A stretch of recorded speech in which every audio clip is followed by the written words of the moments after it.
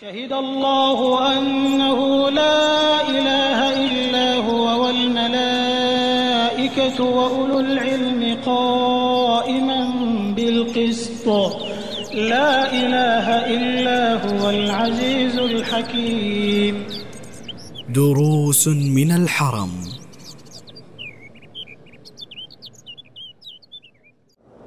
إن الحمد لله نحمده ونستعينه ونستغفره ونعوذ بالله من شرور أنفسنا وسيئات أعمالنا.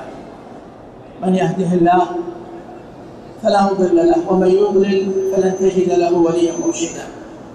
وأشهد أن لا إله إلا الله إله الأولين والآخرين وأشهد أن محمدا عبد الله ورسوله صفيه وخليله خيرته من خلقه.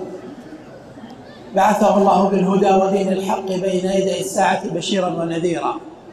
وداعيا إليه بإذنه وسراجا منيرا بلغ الرسالة وأدى الأمانة ونصح الأمة وجاهد في الله حق الجهاد بالعلم والبيان والسيف والسنان حتى أتاه اليقين وهو على ذلك فصلى الله عليه صلى الله عليه وعلى آله وصحبه ومن اتبع سنته واقتفى أثره بإحسان إلى يوم الدين. أما بعد فإننا نحمد الله تعالى حمدا كثيرا طيبا مباركا فيه. على ما من به علينا بأن جعلنا مسلمين. فإن الله عز وجل ينعم على من يشاء من عباده فيصطفيه ويقذف في قلبه نورا يسلك به الصراط المستقيم ويخرجه به من الظلمات إلى النور. والمؤمن إذا استشعر عظيم منة الله عليه كان ذلك موجبا لشهود فضله والإكثار من حمده والثناء عليه. ولهذا من المهم أن نستشعر هذه النعمة التي من الله تعالى بها علينا أن جعلنا مسلمين. تلفتوا وانظروا حولكم في أرض الله الواسعة. كم هم الذين يطلبون النور؟ ويؤملون إدراكه لكنهم لا يصيبونه ولا يحصلونه. أو من كان ميتا فأحييناه وجعلنا له نورا يمشي به في الناس كمن مثله في الظلمات ليس بخارج منها. لا يستويان لا يستوي الأعمى والبصير ولا يستوي من هداه الله إلى النور ومن هو في الظلمات ليس بخارج منها. فاحمدوا الله أيها المسلمون على هذه النعمة واشكروه عليها فإنها نعمة تستوجب حمدا وثناء. لكن أكثر الناس يغفل عن حمد الله على هذه النعمة لأنه نشأ بين أبوين مسلمين وفي بلاد مسلمة أو في بيئة مسلمة. ودرج على هذا الإحسان وغفل عن أن الله لو شاء لحرمه هذا النور.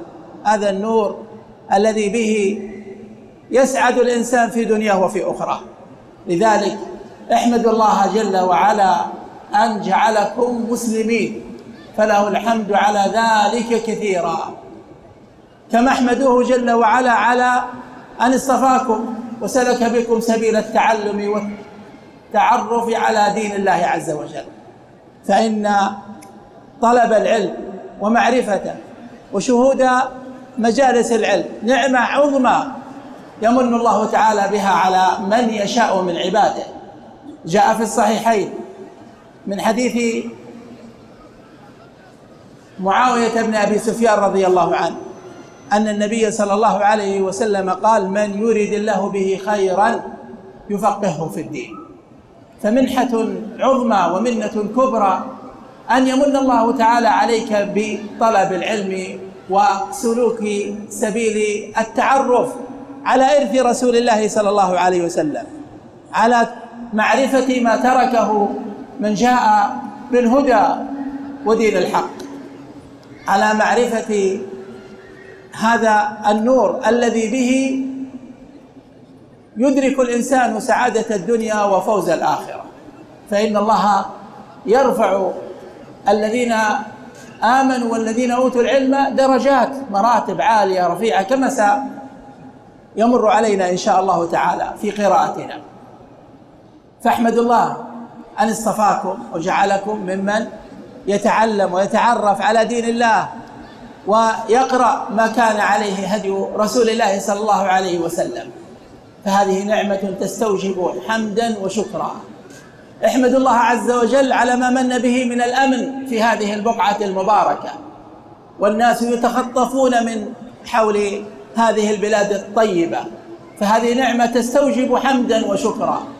وحافظوا عليها بمعرفة فضل الله عليكم وإحسانه. والقيام بحقه من تقواه وطاعته.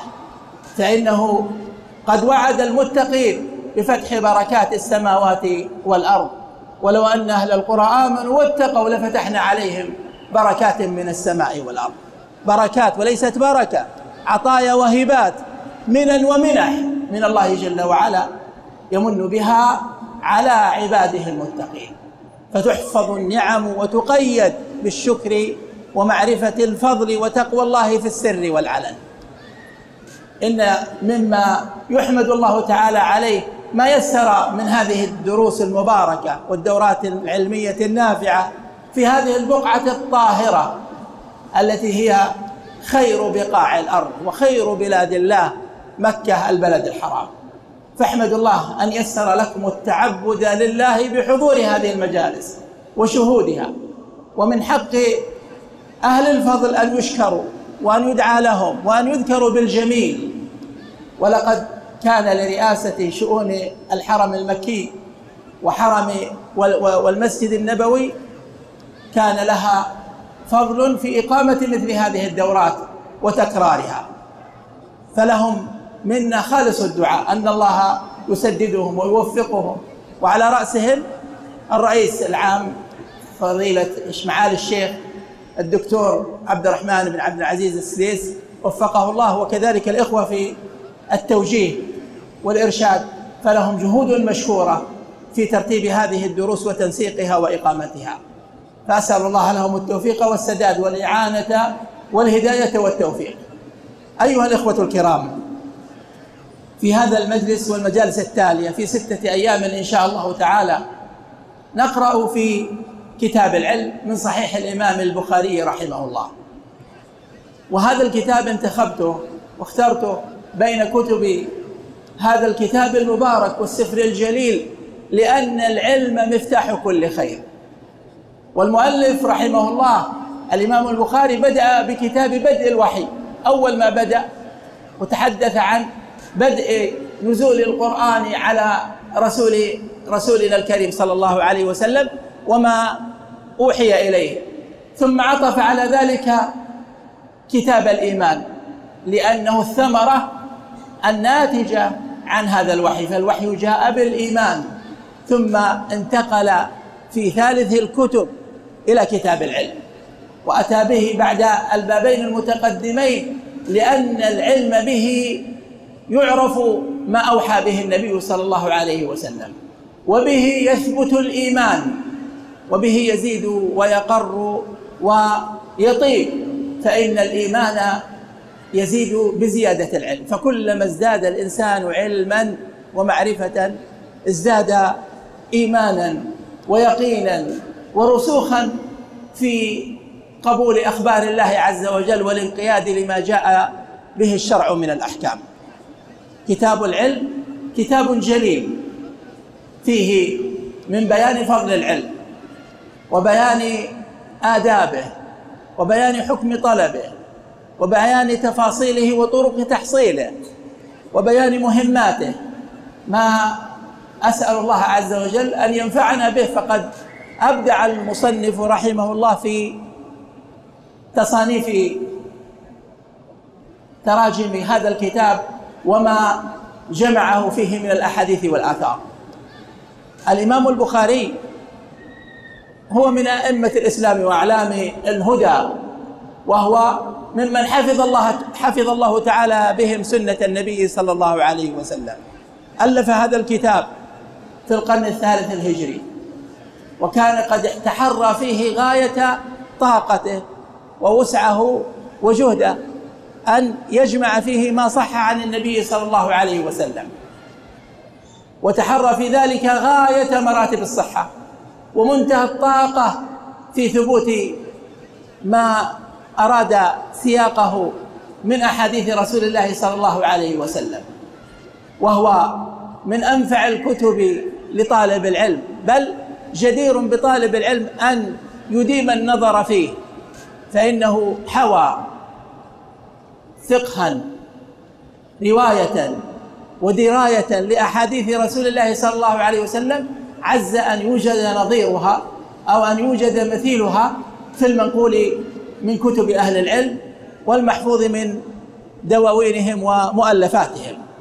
ولذلك كان هذا الكتاب أصح كتاب من بعد كتاب الله عز وجل لشدة العناية به ولجميل صنع المؤلف في ترتيبه وتصنيفه واجتهاده في سياقه على نحو يثبت العلم ويزيده. أيها الإخوة كتاب العلم كتاب اشتمل على بيان العلم فضلا وأدبا وحكما ومسائل وتفاصيل.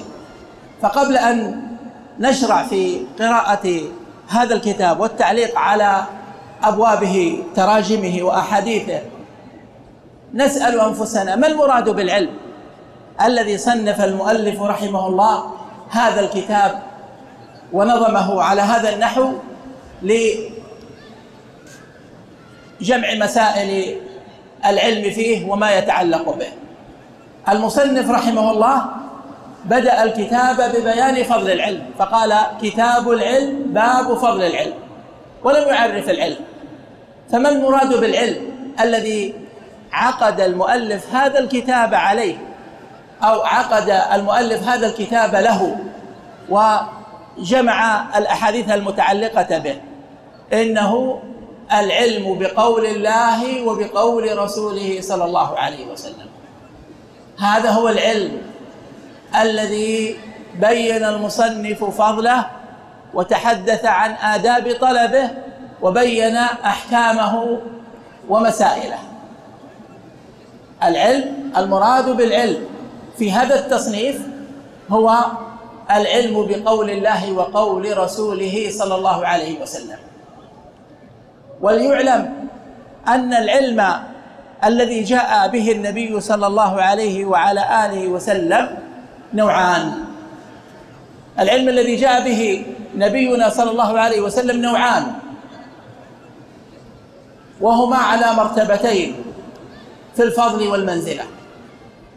النوع الأول من العلم الذي جاء به النبي صلى الله عليه وسلم هو العلم بالله. هو العلم بالله. والنوع الثاني من العلم الذي جاء به النبي صلى الله عليه وعلى آله وسلم هو العلم بالطريق الموصل إلى الله. العلم بالطريق الموصل إلى الله. اذا العلم الذي جاءت به الشريعة الذي في الكتاب الحكيم وفي السنة المطهرة نوعان. علم يتعلق بالله عز وجل وهو التعريف به سبحانه وهو العلم به. والنوع الثاني العلم بالطريق الموصل إليه. كيف نصل إلى رضا الله؟ كيف نحقق العبودية له؟ هذا هو العلم الذي جاءت به الشريعة. وكل الأحاديث الواردة في فضل العلم والحث عليه وبيان منزلة أهله ومرتبة حامليه تعود إلى واحد من هذين النوعين إما علم بالله وإما علم بالطريق الموصل إلى الله.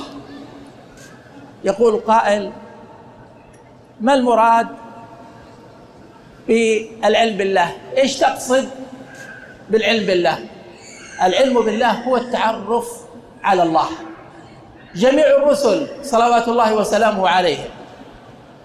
من نوح إلى خاتمهم. محمد بن عبد الله صلوات الله وسلامه عليه جاءوا جميعا بالتعريف بالله. جاءوا بالله معرفين. يعرفون الخلق بالله. على هذا اجتمعت كلمة الرسل من أولهم إلى آخرهم. لكن نصيب التعريف بالله في هذه الشريعة المطهرة أعظم من كل ما جاءت به الرسل جميعا.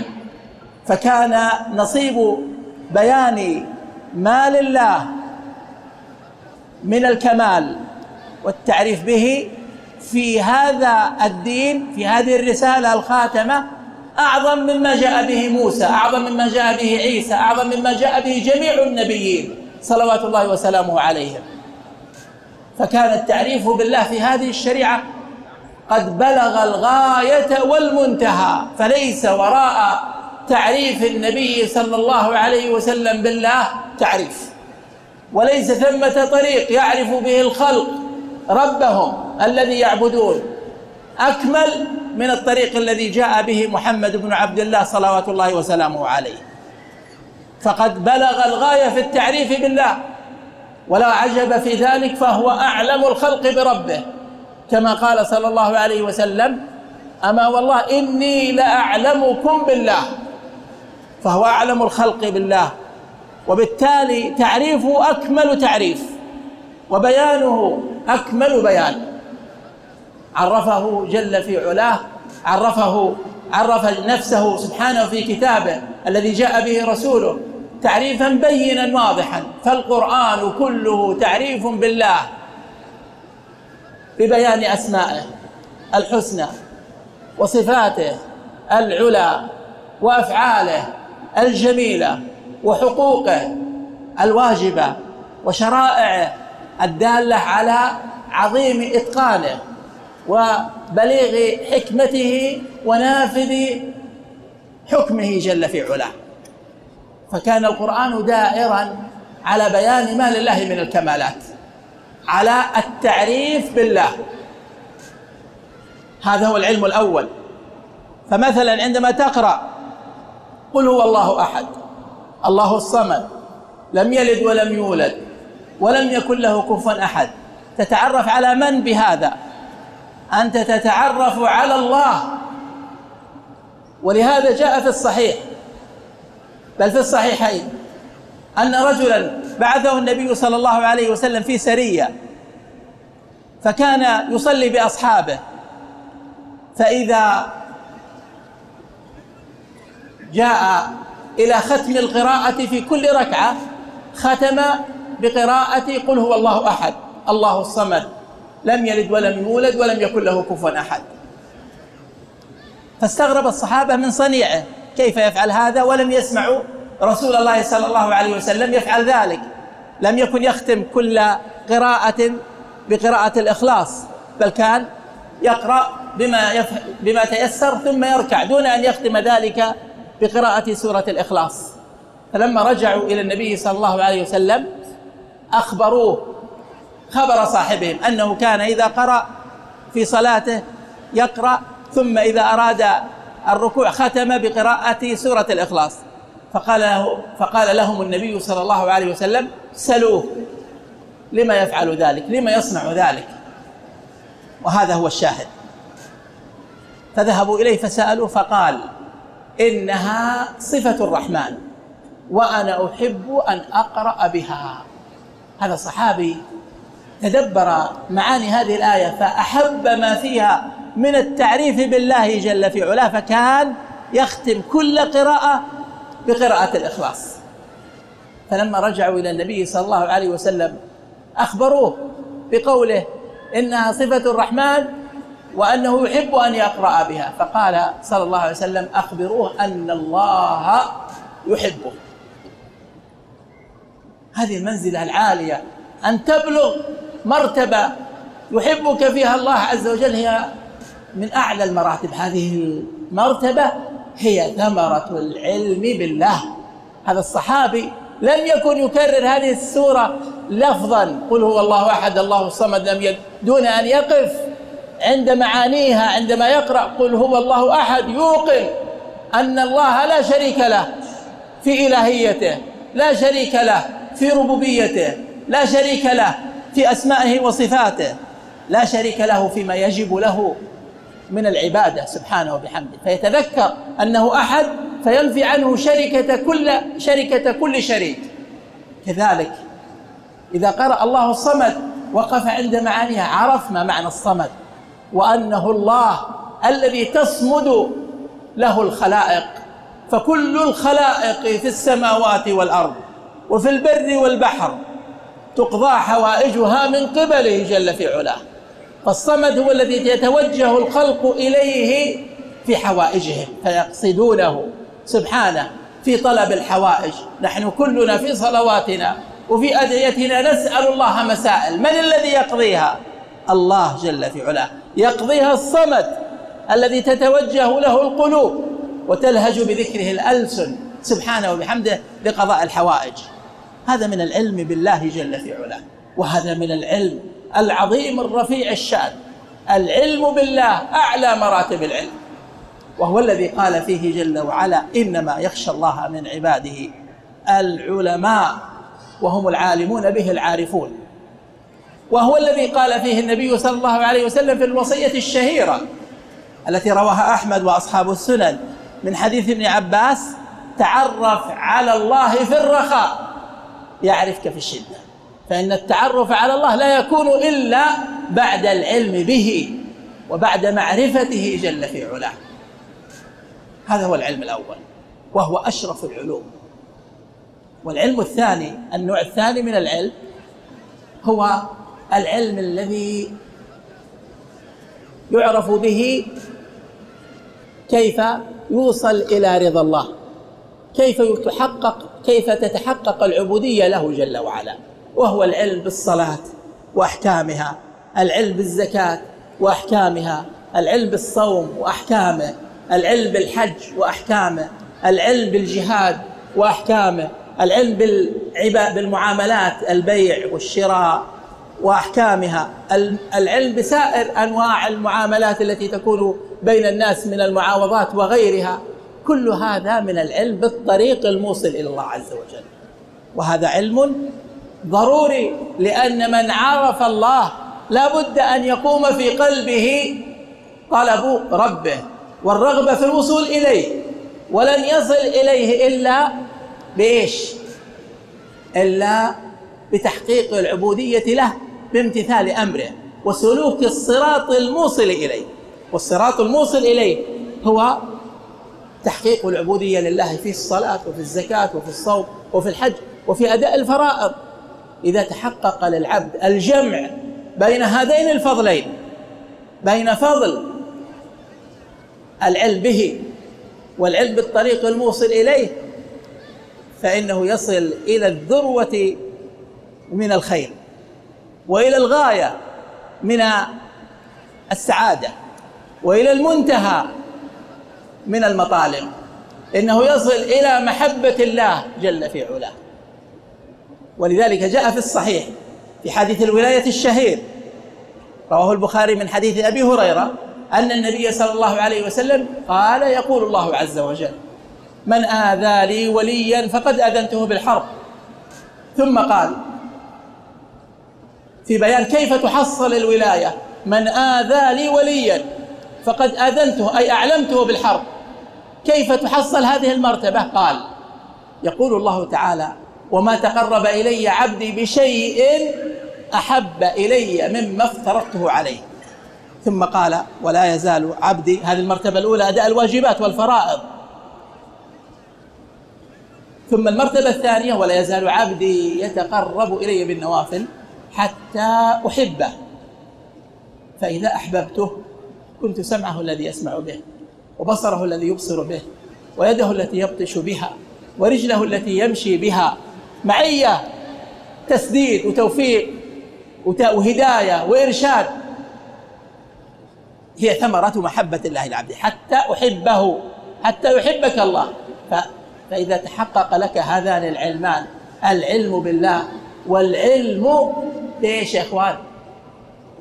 بالطريق الموصل إليه أبشر فإنك تبلغ هذه المنزلة. يحبك الله. فيكون سمعك وبصرك ويدك ورجلك التي تمشي بها يؤيدك ويسددك يحفظك ويعينك. ولئن استنصرته لينصرنك ولئن استعذته ليعيذنك. فهذه منزلة رفيعة عالية. إذا يا إخواني العلم نوعان. العلم الذي جاءت به الشريعة نوعان. علم بالله نعم والنوع الثاني العلم بالطريق الموصل إليه. بأيهما افتتحت الرسالة؟ سؤال. بأي نوعي العلم افتتحت الرسالة؟ والوحي بالنوع الأول. اقرأ. باسم ربك الذي خلق. تعريف بالله. خلق الإنسان من علق. اقرأ. وربك الأكرم. الذي علم بالقلم علم الإنسان ما لم يعلم. بدأت الش... بدأ الوحي بإيش؟ بالعلم بالله عز وجل. ثم جاءت بعد ذلك الشرائع. ولذلك بماذا ختمت سورة اقرأ؟ ختمت بالنوع الثاني من العلم وهو إيش؟ فاسجد واسجد واقترب. هذا النوع الثاني من العلم وهو العلم بالطريق الموصل إليه. بعد التعريف بالله جاء التعريف بالطريق الموصل إليه. واسجد واقترب. أي اقترب إلى ربك بطلب مرضاته. ونحن كل طاعة نتقرب بها إلى الله نقترب إليه كما جاء في الصحيح من حديث أبي هريرة. ومن تقرب إلي شبرا تقربت إليه ذراعا. ومن تقرب ومن تقرب إلي ذراعا تقربت منه باعا. ومن أتاني يمشي أتيته هروله فضل الله. وبره وإحسانه وعطاؤه وإقباله على عباده. هذا يا إخواني أمر يبين لنا شريف ما نشتغل به في مثل هذه الحلقات. إننا نتعرف على الله ونتعرف على الطريق الموصل إليه. كل هذه الدروس العلمية بشتى صنوفها وتفنن أبوابها واختلاف أنواعها تحقق واحد من هذين الغرضين إما أنها تعريف بالله وإما أنها تعريف بالطريق الموصل إليه جل في علاه. نحن في كتاب العلم سنقرأ فضل هذين العلمين والآداب التي ينبغي أن يتحلى بها من يسلك هذا الطريق فإنه من سلك طريقا يلتمس فيه علما سهل الله له به طريقا إلى الجنة. أسأل الله العظيم رب العرش العظيم الكريم أن يسلك بنا وإياكم سبل السلام وأن يجعلنا من عباده المتقين وحزبه المفلحين. نقرأ بعون الله وتيسيره وتسديده ما ذكره الإمام البخاري رحمه الله في كتاب العلم. سم الله أخي. بسم الله الرحمن الرحيم. الحمد لله رب العالمين.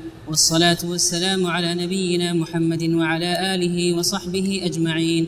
اللهم اغفر لنا ولشيخنا وللحاضرين.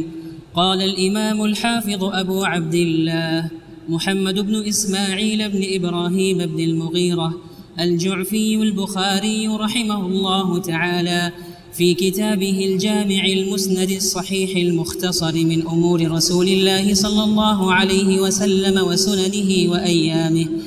قال رحمه الله تعالى كتاب العلم. بسم الله الرحمن الرحيم. باب فضل العلم وقول الله تعالى يرفع الله الذين آمنوا منكم والذين أوتوا العلم درجات. والله بما تعملون خبير. وقوله عز وجل رب زدني علما. المؤلف رحمه الله الإمام محمد بن إسماعيل بن إبراهيم بن المغيرة بن بردزبة البخاري وهو من أئمة الإسلام وعلماء الأمة الكبار الذين حفظ الله بهم الدين. قال رحمه الله كتاب العلم وكتاب العلم أحد كتب صحيح البخاري الذي جمع فيه أحاديث النبي صلى الله عليه وسلم سننه وأيامه. وبينا المقصود بالعلم عندما تحدثنا في المقدمة وأنه علم بالله وعلم بالطريق الموصل إليه. تصنيف المؤلف رحمه الله لكتاب العلم هل هو أمر ابتكره؟ الجواب لا. كل أصحاب السنن وكثير من أهل العلم المؤلفين في دواوين السنة كتبوا في العلم والكتابة في شأن العلم على نوعين إما كتاب إما كتابة مضمنة ضمن مؤلف كما هو الشأن في صحيح البخاري فإن كتاب العلم من جملة كتب هذا الكتاب وهذا السفر الجامع الصحيح المختصر. وعلى هذا النحو جرى أصحاب الكتب الستة. فالإمام مسلم رحمه الله ضمن كتابه الصحيح جملة من الأحاديث المتعلقة بالعلم وجعلها في أبواب معدودة. وكذلك الإمام الترمذي وأبو داود والنسائي وابن ماجه كلهم جمعوا ما يتعلق بالعلم في أبواب إلا أن أكثرهم تصنيفا وترجمة. هو الإمام البخاري رحمه الله. فإنه ذكر فيه قريبا من ثمانين حديثا. وبعده النسائي رحمه الله فقد ذكر قريبا من خمسين حديثا وبعد ذلك يتنازل الأمر إلى ثلاثة عشر حديث ذكرها الإمام مسلم في صحيحه. فكل العلماء من أصحاب السنن خصوا هذا الكتاب وهذا الباب بعناية فجمعوا الأحاديث المتعلقة بالعلم. هذا النوع الأول من التصنيف وهو ما جعل وهو أن يضمن كتابا من كتب يضمن مؤلفاتهم كتابا يتصل بالعلم ويأتي على أحاديثهم النوع الثاني هو أن يفردوا العلم بمؤلف مستقل. وعلى هذا جرى جماعة من الأئمة من أبرزهم وأوسعهم الإمام ابن عبد البر أبو عمر بن عبد البر رحمه الله في كتاب جامع بيان العلم وفضله. فهو من أوسع الكتب في جمع ما يتعلق بالعلم وفضله وأحكامه ومسائله. ومنه أيضا أخلاق العلماء للآجري ومنه أي من هذا النوع الذي أفرد العلم فيه بمؤلف مستقل أدب الإملاء والاستملاء للسمعاني وكتاب التذكرة تذكرة السامع والمتكلم في أو المتكلم في أدب العالم والمتعلم لابن جماعة. والمؤلفات في هذا كثيرة. المقصود أن العلم تناوله العلماء على نحوين منهم من ضمنه كتابا من كتبه وخصه بعناية بجمع الأحاديث المتعلقة به ومنهم من أفرده بكتاب مستقل. شهد الله أنه لا إله إلا هو والملائكة وأولو العلم قائما بالقسط. لا إله إلا هو العزيز الحكيم.